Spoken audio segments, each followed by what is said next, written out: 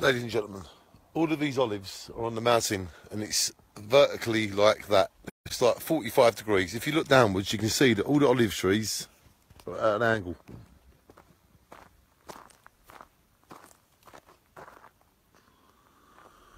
We know that when they're on flat ground, there's a machine that shakes the tree. And then a big blanket underneath catches all the olives. That's how they collect olives on flat land. But how do they collect the olives when the trees are at that angle going downwards?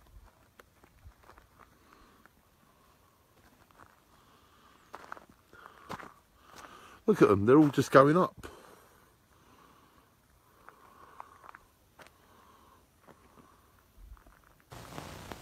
Plus it's like 30 degrees heat now. In the peak of summer, it's probably 45 degrees. How do they collect the olives, ladies and gentlemen, from the trees? The hundreds and thousands and millions of olive trees. Look, as far as the eye can see, all olives.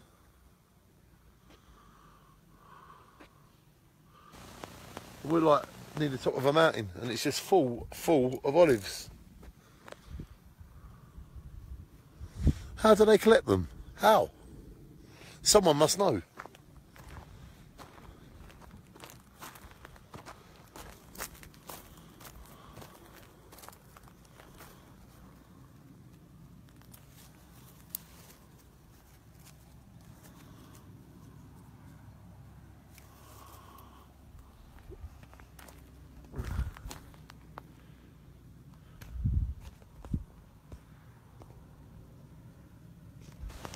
So if anyone watching this film, can you please Google how do they collect olives in the mountains of Spain and then let me know please because I've seen so many olives now I've actually got a passion for them and I would like to know how they're collected.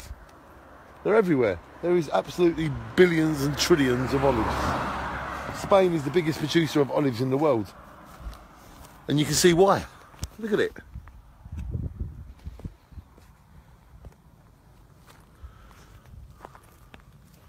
Everywhere you go, there's just loads of them.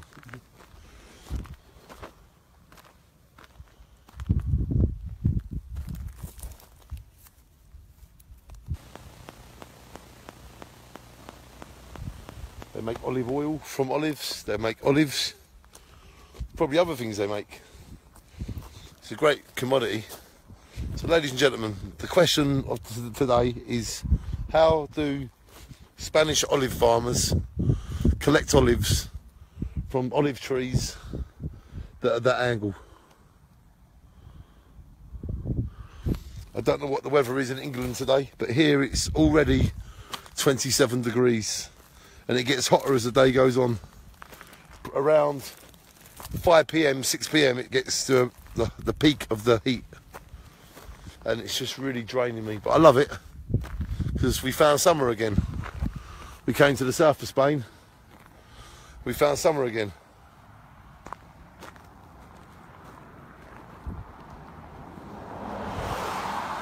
So ladies and gentlemen, the question of the day. How do Spanish farmers collect olives from olive trees that are on the mountain at that angle?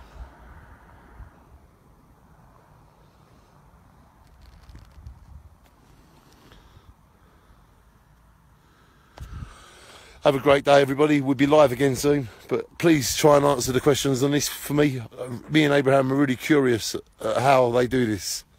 And uh, have a great day, everybody. Gracias from me and all of the olive trees.